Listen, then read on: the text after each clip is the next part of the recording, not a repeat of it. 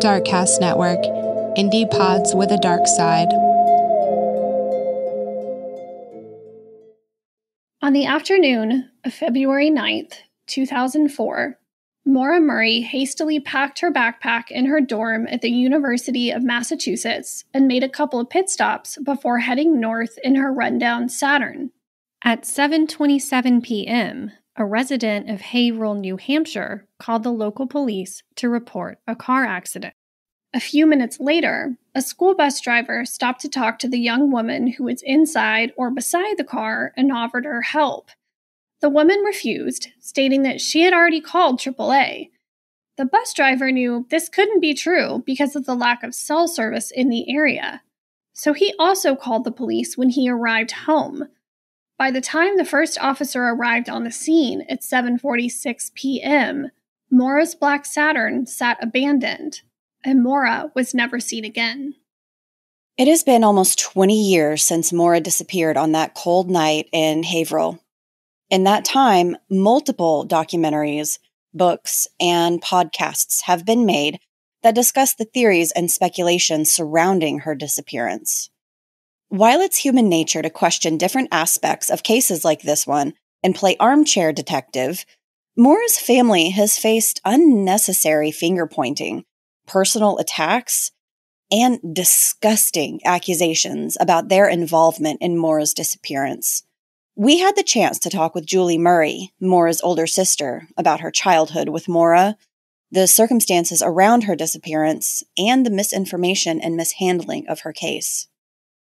Julie's continued advocacy for Maura also led her to found her Engage with Empathy campaign and the New Hampshire Unsolved Murdered and Missing Coalition with other victims' families and survivors.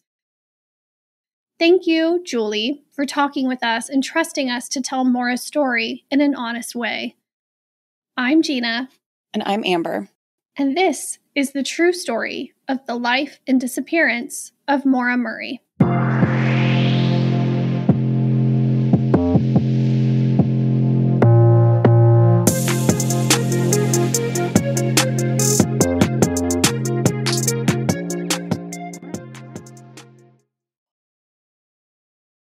Maura Murray was born on May 4, 1982, to Fred and Lori Murray. She was the youngest daughter and had three older siblings Fred Jr., Kathleen, and Julie.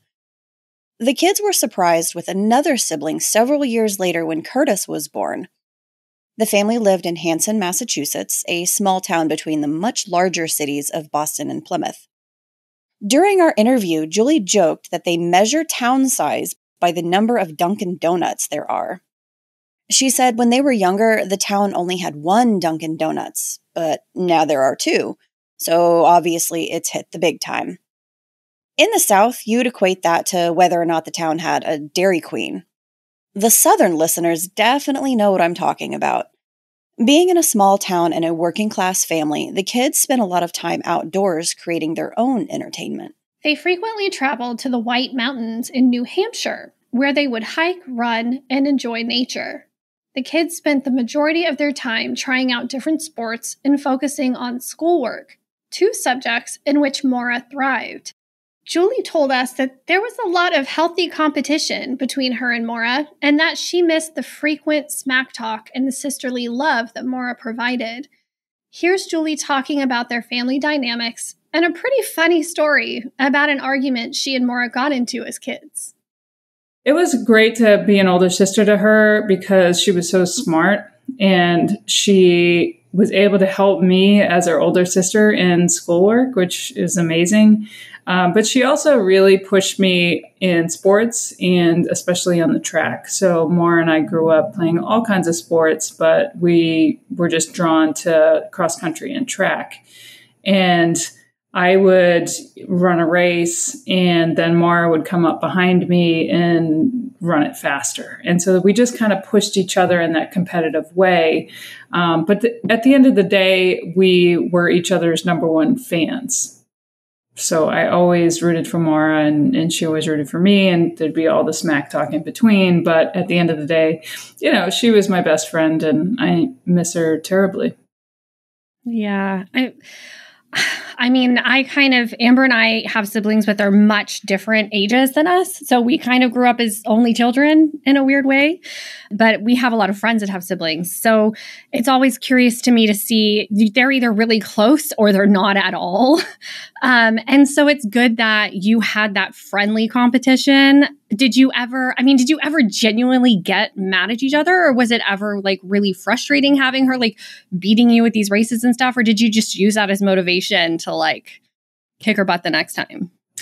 Oh yeah, I mean we we were very angry at each other a lot of times. Um, I remember when we were playing basketball, we had we lived on a dead end street in a cul-de-sac, and at the end of the street there was a basketball hoop, and I remember playing one on one and just having fierce battles to where it ended like her throwing the ball at me and running back to the house and then me chasing you know, just just typical kid stuff. And and then you know when you're mad at each other and you like do like the sort of silent treatment thing and they're like do you want ice cream? Yeah. It was just it was just typical that that's what we what we did. Oh my gosh. Yeah. As julie mentioned Maura was a runner Maura was such a good runner that she consistently finished in the top tier of runners in the state of Massachusetts and broke several long standing school records. In her sophomore year of high school, she was selected as a Boston Globe All Scholastic in cross country and qualified for the U.S. National Scholastic Outdoor Championships, where she finished 33rd in the country. While she was busy breaking records and going to cross country championships, she was also top of her class and won the silver medal in the National Latin exam. The girl was a badass. Julie told us that one of their favorite things to do together was long distance running. Maura was the perfect running partner. Those long runs can get lonely and probably boring, and having a good running partner is crucial. The sisters would talk for hours, while running endless miles. The chats varying from random topics to deep conversations about life and everything in between. Julie told us she's had other running partners over the years at West Point and while in the military, but none of them were as great as Maura. There had been comments made about the Murray kids living in a strict household with parents who pushed too hard and expected too much. When asked about this, Julie made it clear that this couldn't be further from the truth.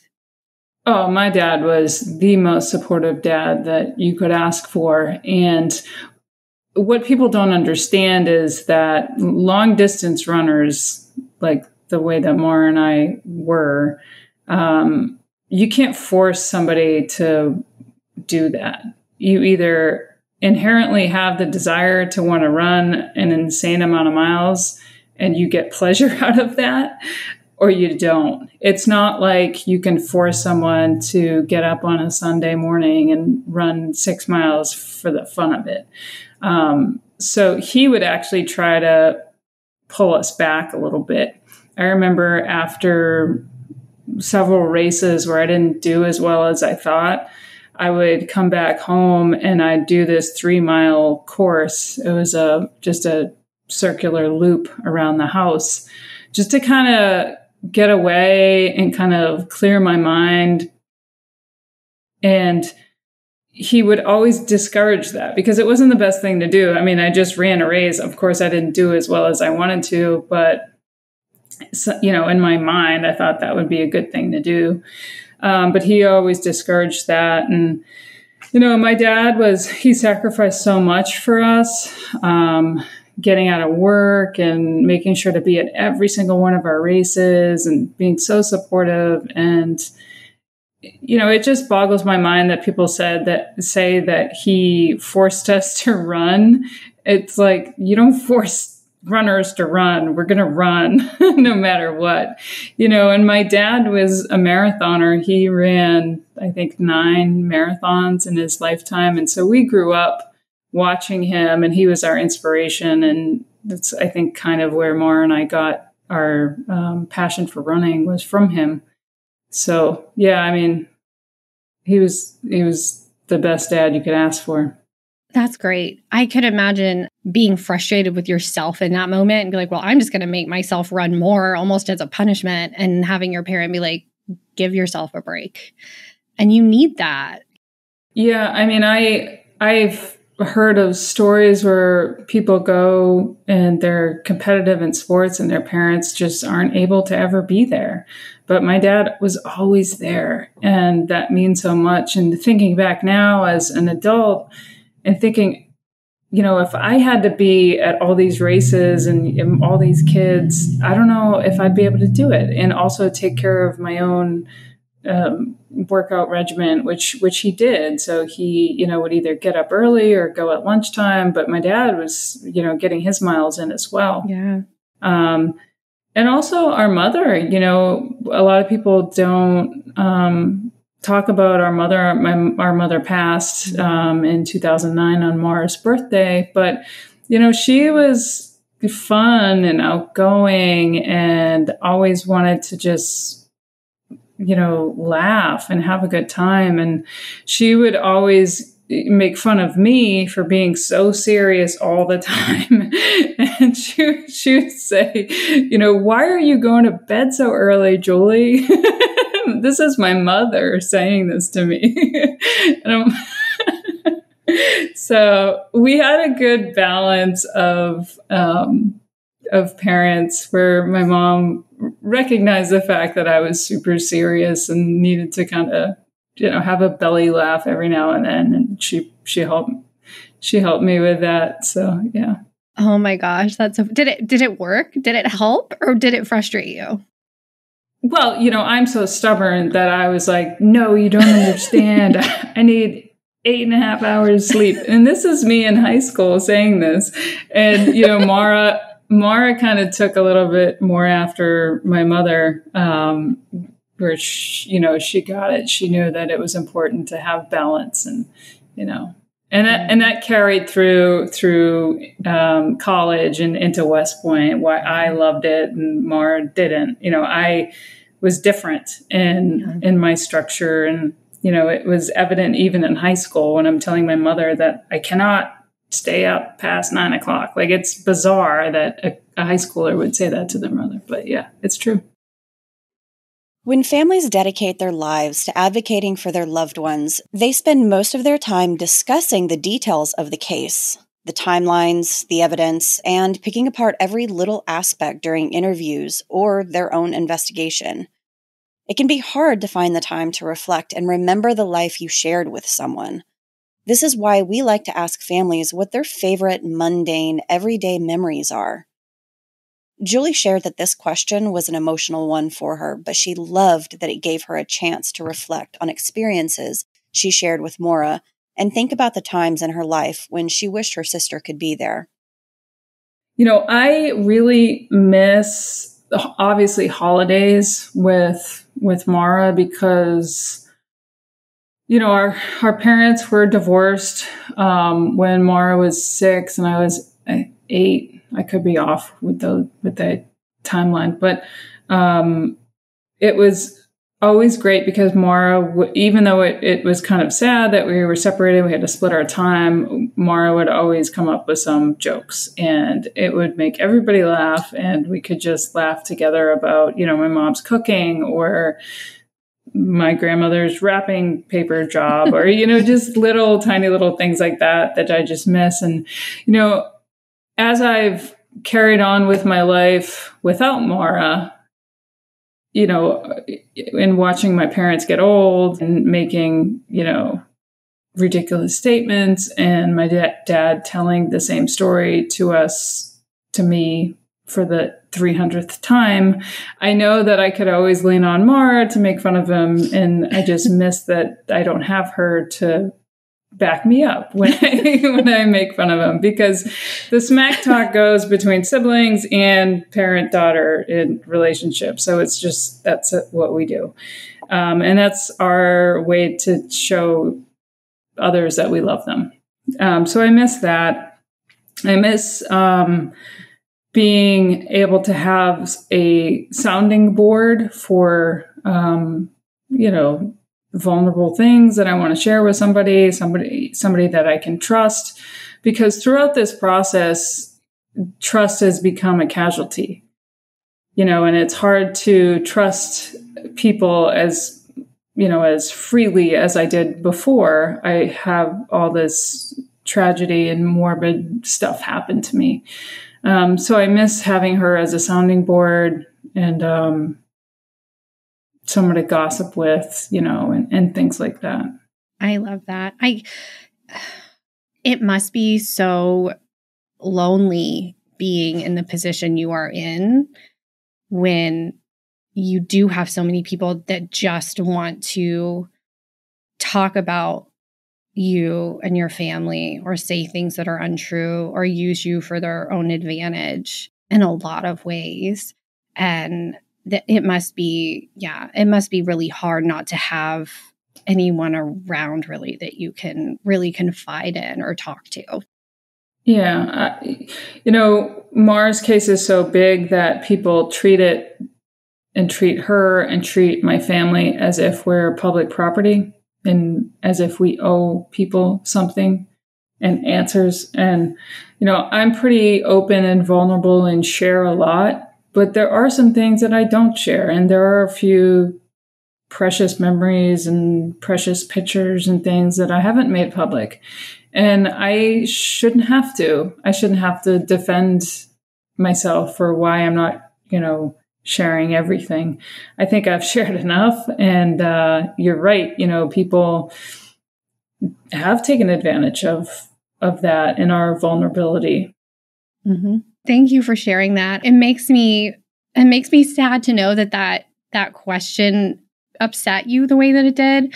But I, to your point, I do think it's it's important because as a family member who spends most of their time advocating for their for their loved one you get so caught in the day to day of just trying to sift through new leads and all of the information and answer emails and have these conversations and everything else that i'm sure that that time that you spend together gets away from you after a while. And so i think it's good to bring it back and really focus on who who Maura was and who she was to you and those little things that, you know, really made her Maura. So thank you for sharing that. Yeah, of course. And I don't think upset is the right word. I wasn't upset. I was just reflecting. And I um, don't allow myself the time and space to do that as often as I like. So I actually appreciate that you asked me that. So thank you. I never like making anybody cry though. So whether it's like good or bad, I'm still like, oh, I didn't want to make you, you know. Sorry about that. Cry, crying's not always a bad thing. no, but I kept my composure for this, so I got my cry out of the way. Although I told everyone that I did it, but that's fine. You're fine. We don't have to keep that part in if you don't, if you want to. Oh no, I think it's. I I love that part. I okay. think that's there's value in that. After high school, Julie attended the United States Military Academy at West Point in New York. West Point is one of the most highly acclaimed service academies in the country. Julie thrived there and absolutely loved the discipline, structure, and physicality that the school demanded. Being two and a half years older than Maura, Julie would send letters back home, telling Maura all about how wonderful it was and how much she would love it too. However, Maura and Julie may have been similar in a lot of ways, but they were also very different. The aspects of West Point that Julie appreciated did not vibe with Maura how she hoped it would. When I was at the academy, I would write back to Maura, who was a high schooler, and tell her how much that she would love it. And, you know, when she went through the college application process, she had recruiting letters from Harvard, from Yale, from Brown. Um, she had her pick of any service academy, uh, and she applied to one one school, one school only, and that was West Point. And that was because I had built it up and it sort of convinced her that she would love it. And so she joins me at West Point, and she doesn't love it. And uh, you know, she wasn't alone in that regard because there's a lot of high overachieving type kids, type A personalities that are very successful in academics and athletics and leadership and their community, but just aren't cut out for the military. And I think that's kind of where Maura fell um, in that spectrum. And she was more of a nurturing, type person and wanted to give back in a different way. And so she eventually followed in her mother's footsteps and pursued nursing, which was um, what she was suited for. Besides not loving the structure and rigor that came with attending a school like West Point, Maura also found herself in a little bit of trouble after she stole about five bucks worth of makeup from Fort Knox. Many people have speculated on why Maura made this choice, but the truth is, we don't know.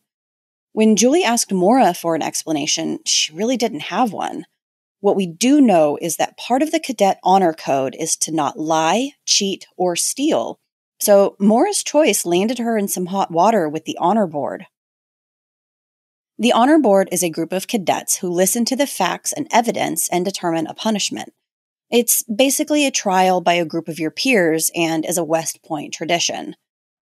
Julie shared that she had several friends who did much worse than steal makeup and faced the honor board who did not get kicked out of the school.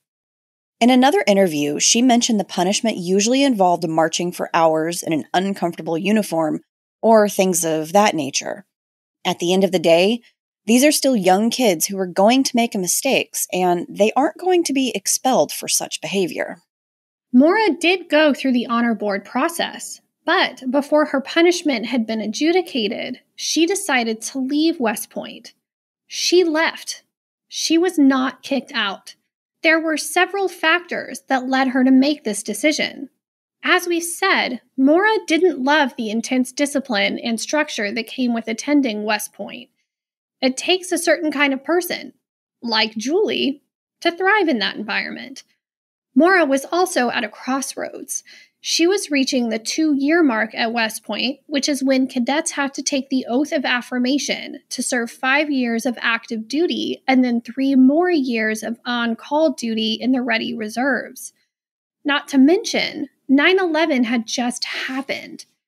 We're going to war, and she was being asked to pledge eight more years of her life to the military when she was already unhappy being at West Point so she chose to leave before she was given her punishment. Honestly, why go through the punishment if you know you don't want to be there anyway? Exactly.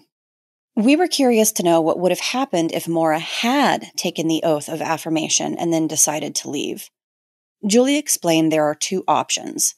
A person can either pay back the amount of the first two and a half years of schooling, or you can join the army at the lowest rank and work through what they would have owed. Neither one of these options is great, so it's good that cadets are given two years to decide if they want to commit. As we discussed, Maura realized this was not the path for her and enrolled in the nursing program at the University of Massachusetts in Amherst. Once at UMass, Maura seemed much happier, but did have some personal struggles. Julie spoke about Maura's mindset and what she was going through during this time. She seems so much happier you know, she could sleep in every now and then, um, which is something forbidden at West Point. I mean, you have to be up, bed made, sink clean, all your books lined up perfectly, shoes shined, uniform pristine by 5:30 a.m. So it's not the typical college experience. And then, you know, then you have to march to breakfast because all cadets march to breakfast and you eat your breakfast and then you cannot skip class you cannot sleep in. There's it's just it's a whole nother world and you know i say this all the time it's just it, not everyone is cut out for that. And um, so i would talk to Maura mostly through aol instant messenger which is uh, kind of dates me, but it back in the day. we are of the same era. So, yeah. Okay. Okay. You get it. You get it. Yeah. um, Yeah, and she, you know, she seemed to be doing well, and she was closer to home, and um, she seemed happy. Do you feel like she was open about what she was going through, or do you think there were some things that she was keeping to herself? Yeah, she tried to keep stuff to herself, um, but with me, I wasn't the one because we were so close. So whenever I noticed something, I would call her on it, and she would begrudgingly tell me uh, what was happening. And you know, there's probably things she didn't tell me, but there's a lot of things. You know, as an older sister, you you notice, and so I would ask her about certain things. Um, you know, and give her advice and and things like that. So she did have um, some struggles with disordered eating, which she, obviously she wasn't going to share with me, but I found out, and you know, we had long conversations about that, and she was embarrassed and ashamed about it, as you know, anyone who's been through it knows it's not an easy thing to to go through. Um, but it is something that's very uh, prevalent at schools like West Point and other service academies, especially in with athletes, female athletes. So you know, we discussed that a lot, and she tried to deny it, you know, at first, which you're not going to be able to get away with that with me. And that goes back to the bonds that we built growing up. You know, I'm her older sister. She can tell other people, you know, whatever, but she knew she wasn't getting away with that with me. Um, and that probably irritated her a little bit. But at the end of the day, I know that she appreciated it and she knew that I loved her and cared about her and just wanted the best for her. Did she take your advice to heart or was she one to just be like, yeah, yeah, okay, I hear you? Yeah, Maura looked up to me. She she definitely looked up to me, and that's part of why she followed me to West Point and and things like that. And um, I yeah, she she definitely took what I said to heart, and she did seek help and and try to get better. While Maura may have had a better life balance at UMass, her struggles with disordered eating led her to make more questionable decisions. She was caught using someone else's credit card to buy a large amount of food in the middle of the night. Maura was put on three months probation for good behavior. We asked Julie for more details about this, and she's pretty sure that was through Amherst Police Department, but she's not 100% certain. Julie didn't know about Maura using someone else's credit card until after she went missing, and she was still on probation at the time of her disappearance. When talking about Maura's choice to do this, and if it was possible that she didn't want her parents to notice the spending or question her about it, Julie mentioned that the kids never asked for money or racked up their parents' credit cards because they already spent so much on them for their various sports and other activities. They were very aware of what their parents provided for them and didn't want to burden them financially. Even as kids, we wouldn't even ask for anything special. You know, I remember when the champion sweatshirts came out and everyone had the champion sweatshirts. And of course, Maura and I wanted the champion sweatshirts, but we're like, that's way too expensive. We don't want to burden our family with with that. So we w- we would never ask our parents for money because you know, my dad and, and my mom was spending so much on all of our sports and, you know, we were on traveling basketball teams. So that came with travel costs and hotels and uniforms and entry fees. So we would never want to um, burden them financially.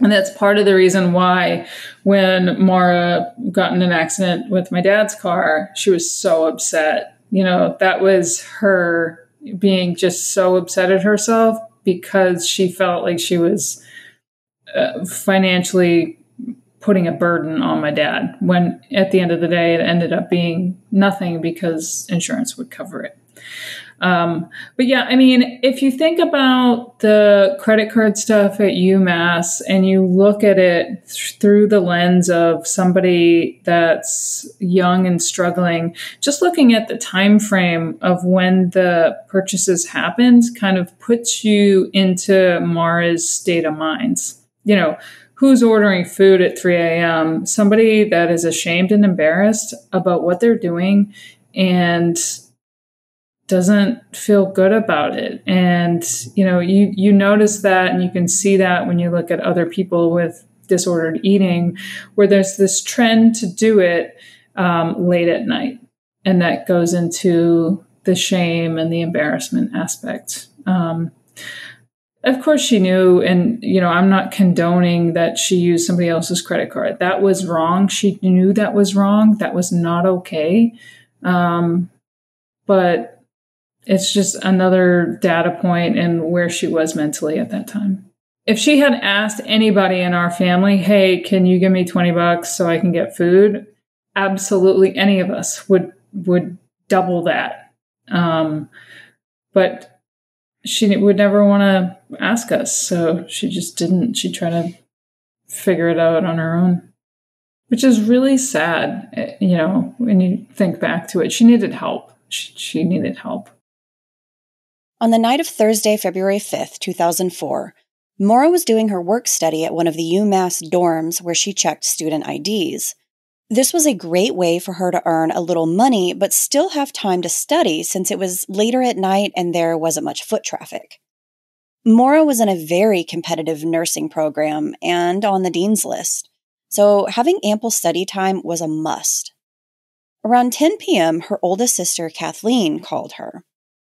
Kathleen struggled with addiction and had just gotten out of rehab that day, she called Maura to vent about the disappointment she was feeling in herself because her then fiance picked her up from the rehab facility and took her straight to a liquor store. Needless to say, the Murray family were not fans of this guy and expressed to Kathleen on multiple occasions that she could do so much better. But the truth can be hard to see when you're in the middle of it, as a lot of us know. During their conversation, Maura didn't have much of a reaction other than reassurance and showing support for Kathleen.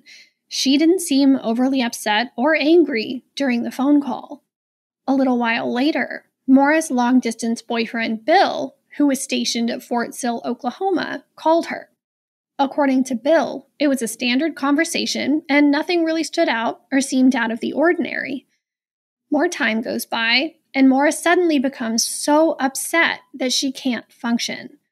Her supervisor escorts her back to her room, and when asked what's wrong, the only thing Maura says is, My sister, my sister. This event was the first big red flag that something more was going on. Here's Julie talking about Maura's emotional state that night and the events that took place over the next couple of days. We still really don't know what it was that upset Maura to that extent. Was it a call from Kathleen several hours earlier? I don't know. You know, um, I know that Maura would have tried to hold space for Kathleen in that time where Kathleen was sharing, hey, you know, this horrible thing happened. I've already relapsed and I'm dating this piece of crap guy. Um, I don't believe that Maura would have broken down kind of during that conversation because I know that Maura was empathetic enough to know that she needed to be strong for Kathleen because obviously she's sharing something like that. So I don't know. I don't really know exactly what caused her to be that upset. Um, so that was the first major red flag, and that was Thursday, and she disappeared on Monday. So Thursday goes into Friday. Friday, there's a big snowstorm at UMass. Classes are canceled. Not a whole lot happening on Friday. I know that um, Maura didn't mention it to me through, um, you know, phone call or chat or whatever. I was back from South Korea at the time. I was in um, North Carolina. So then Saturday comes, and my dad realizes Maura needs a new car because her car was smoking um, and running on three cylinders. And he told her, Do not drive this car. I'm coming up and we're going to get a new car. And when I say new, I mean used, but for a college kid, that means new. So Maura had been calling around um, to different numbers on classified ads in the newspaper and it's on her phone records, and it shows that she was actively trying to find a car from um, her winter break up until that time. And obviously, she didn't find anything. So my dad came up to UMass. They go car shopping. Maura calls me at 3:21 p.m. I think it is 3 337 something like that and tells me about the cars that they looked at. And i'm like this is great whatever. You know i don't really remember the specifics of the phone call uh, but that would be the last time i would ever talk to my sister. Um, so then they don't end up buying car. They narrow it down to like three and they thought at that time they had the whole next day to continue to car shop, or if they didn't find anything, the next weekend, whatever. So Maura's friend Kate was coming home from a track meet and said, "Hey, do you want to hang out?" Maura said, "Yeah, we're at this um, brewery. Do you want to come and get dinner and drinks with my dad? My dad's in town." Which was something that was typical because whenever my dad was around, um, we would invite everyone we knew to go out because he would always pay for dinner. and as college kids, that was perfect. So they do that, and then I think it was Kate or maybe it was Maura gets a call from another friend named Sarah. And Sarah said, Hey, we're having a little get together at the dorm later you guys do want to come. And so Kate and Maura like, yeah, absolutely. So they dropped my dad off at the motel that he was staying at. And they, uh, but before that, they went to a liquor store and um, Maura got this box wine, which will be important later.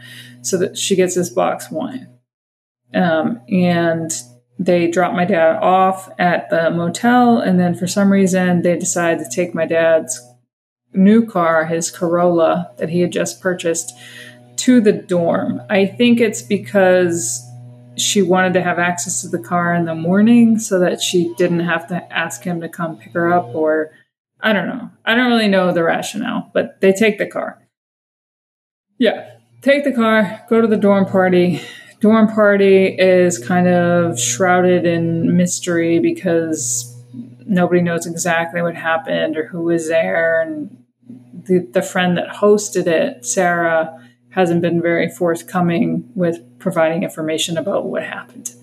Um, so around 2:30 a.m., Kate decides to leave, and so does Maura around the same time. And instead of going up to her dorm room, Maura decides to take the Corolla back to my dad's motel. But when she does that, she crashes about a mile off campus head on um, at a T intersection into a guardrail and causes thousands of dollars worth of damage to my dad's new car. So this is Saturday night. So a tow truck comes, the police come.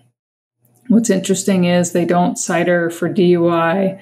They don't do any medical evaluation on her whatsoever. And she just basically gets into the tow operator's vehicle and drives back to the motel.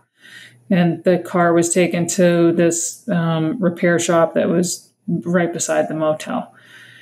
So obviously, Maura was so upset with herself because she caused all this damage and um, burden on my dad and she uh, you know was crying and was upset. And my dad finally figures out that insurance would cover it. There was some loophole where insurance would cover it. And he was like maura don't worry about it. Insurance will cover it. What i need you to do is get these accident forms tomorrow which would be monday so that we can make sure everything's straight. And she agrees to do that. And so now we're in Sunday. My dad drops Maura off at the dorm. That would be the last time he ever saw her. And she was crying when he last saw her, which is heartbreaking. Um, that image is heartbreaking to think about. Um, she does call him on Sunday night, calls my dad, and they talk about, again, hey, you need to get these accident forms. So then Monday comes along, and that's the day where she disappeared. Fred never figured out why Maura drove back to his motel instead of going upstairs to her dorm room after leaving the party on Saturday night. One interesting tidbit of information that Julie shared with us is that Maura's accident didn't occur until about an hour after she and her friend Kate left the party between 2 and 2:30 a.m. Kate has been very open with the Murrays about the events that took place that night, but she doesn't know why Maura didn't go upstairs to her room or if something happened after she last saw her. The girl who threw the party has been less cooperative about sharing details of what went on that night. What we do know is that it doesn't take an hour to drive from the dorm to the motel. Maura was known to drive insanely fast, but speed wasn't listed as a factor on the accident report. The report said she was inattentive and slid on debris on the road. That was it. No speed or intoxication was involved. Maura had left her phone in her dorm room and didn't have a key to Fred's motel room. So, after the tow truck driver dropped her off, she had to call or buzz someone to come let her into Fred's room or call his room so he could come get her. This is one of those motels where the office manager either lives on site or nearby, so she had to wait a while before getting a response. She eventually gets to Fred's motel room, where she borrows his phone to call her boyfriend Bill. Bill said she was crying and upset about the accident and probably trying to figure out how to tell Fred that she had wrecked his car. Mid morning, she tells her dad what happened. There are a lot of people who have made assumptions about how Fred handled the news. And honestly, I think most people would expect yelling in this type of situation. But that wasn't Fred's style. People say my dad screamed at her, which is so funny to me because I've never heard my dad scream at us ever. That is not the way that he um, responded to anything that we did. Uh, you know, and a lot of times we wished he would have screamed at us because it would have made us feel better. But he just kind of matter of fact, like, here's what we need to do. You know, you screwed up, blah, blah, blah, blah, blah. So the people that say my dad screamed at Maura are making it up.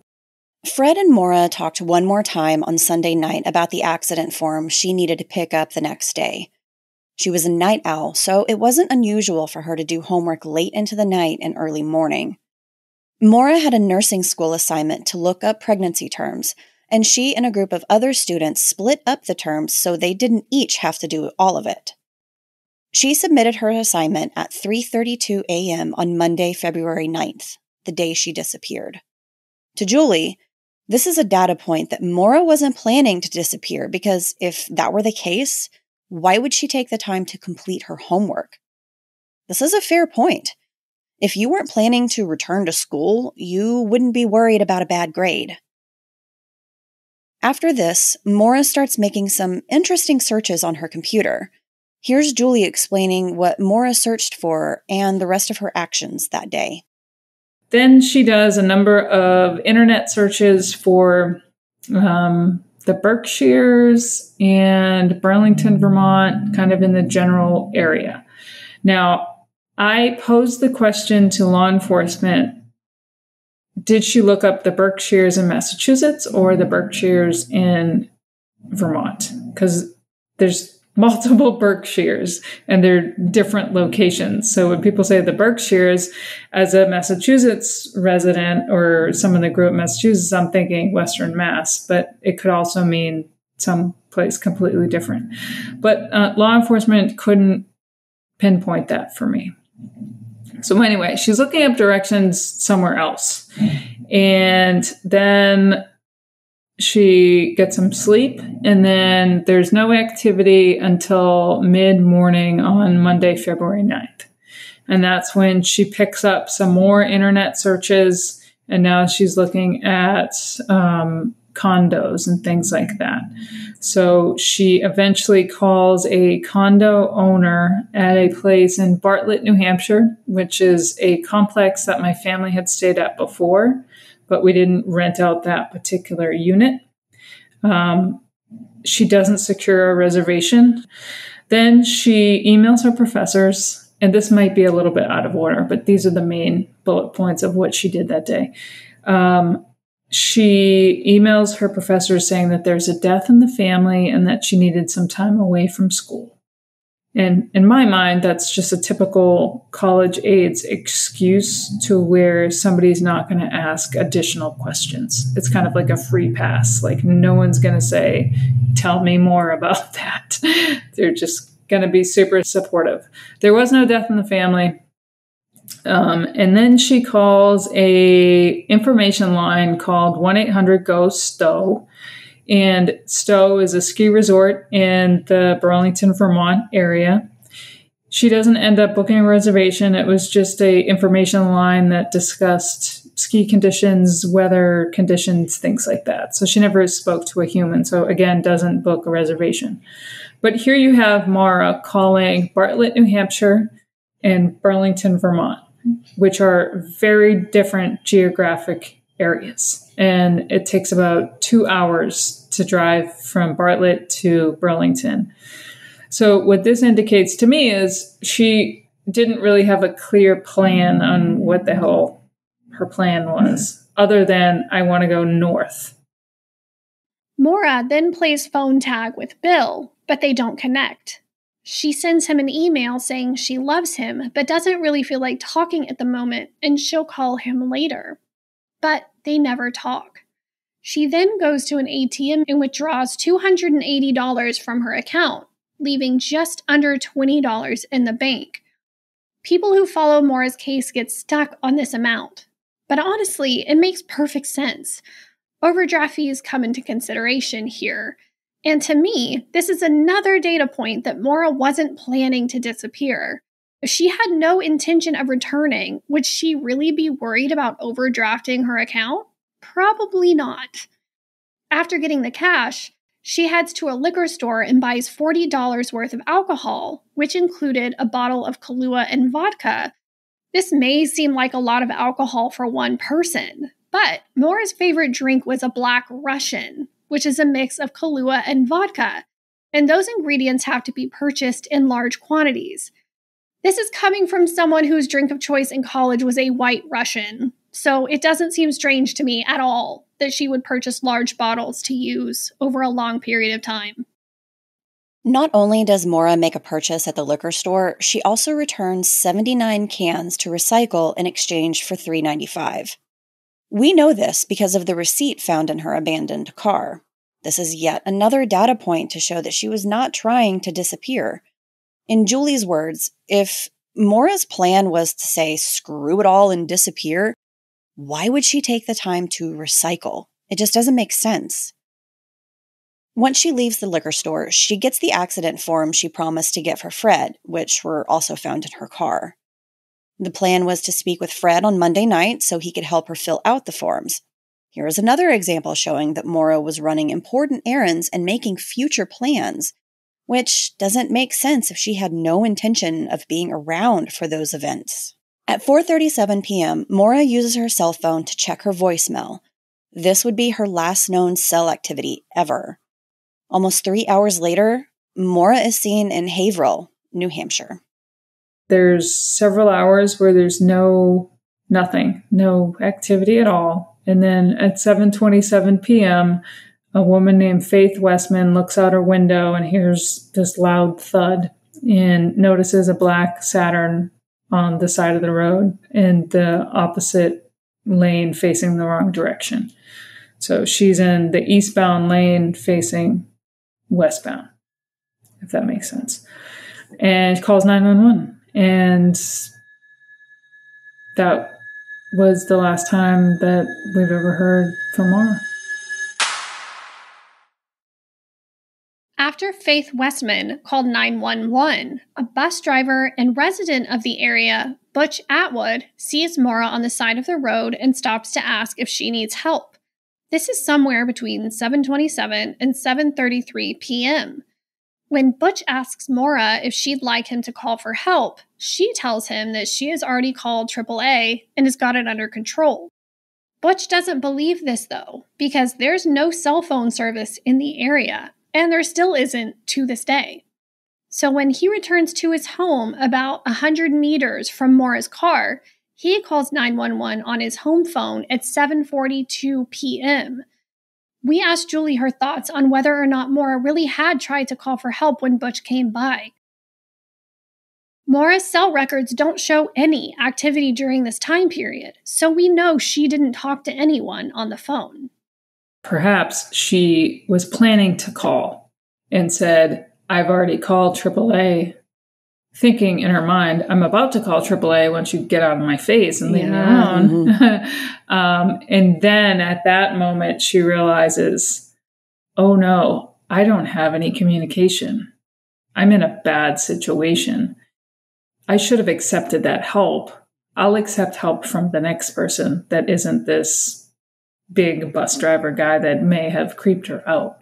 Um, so I'm thinking that maybe she hadn't formulated her plan and was just trying to get him away um, before she knew that there was no cell phone service. So at some point, Maura realizes there's no service here. I'm in a whole lot more of a vulnerable position than I, in you know, originally thought when this bus driver is asking me for help. That's just me thinking and as knowing Maura and knowing how I would have reacted, I would have been all set. I'm good to go. I got AAA. And then thinking, oh, I'm going to call and then realize, oh, I don't have the signal. Um, I'm not saying that's 100% what happened. Obviously, I wasn't there. I don't know. Um, but it is possible. And I could definitely see Maura saying, don't worry about it. I don't want to burden you because that's how she was. Maura's hesitation to accept help from Butch makes complete sense. He was a large man in height and size, and here she is, a woman alone on the side of the road, not knowing if he can be trusted. A lot of us would probably do the same thing in her situation. Butch's story about what happened that night also changed several times. First, he was sitting in the bus. Then he was standing outside of the bus talking to Maura from the other side of the car. However, Julie made a good point about witnesses not being infallible. We don't know why he changed his story or if there was any motive behind it. But humans don't have the best memory. And there's a reason why witness statements don't hold as much weight as, say, physical or DNA evidence. He also agreed to take two polygraph tests and failed the first one. But as we know, polygraph tests aren't admissible in court, and we're talking about an older gentleman who is not in the best health, strapped to a lie detector and questioned about a missing woman. That's bound to make anyone's heart race a little too fast. Julie doesn't know if Butch's house was ever searched. If it was, law enforcement didn't share that with her. But she did share that he lived with his common law wife, Barbara, and his mother at the time of Maura's disappearance and they were both home at the time. The chance of Butch having something to do with Maura's disappearance is honestly very low. But what we do know is that he was the last person to see her. Getting back to the events of that night, we have two calls to 911 Faith Westmans at 7:27 p.m. and Butch Atwoods at 7:42 p.m. According to official records, Cecil Smith, an officer with the Haverhill Police Department, arrives on the scene at 7:46 p.m. and finds the black Saturn allegedly locked, but Maura is nowhere to be found. In next week's episode, we will continue our conversation with Julie and break down the poor investigation, missteps, and misinformation surrounding Maura's disappearance. We will also talk about what it's like to live with a missing family member, Julie's Engage with Empathy campaign, and the 20 year vigil for Maura. Until next time, stay safe and make good choices. Bye. Bye.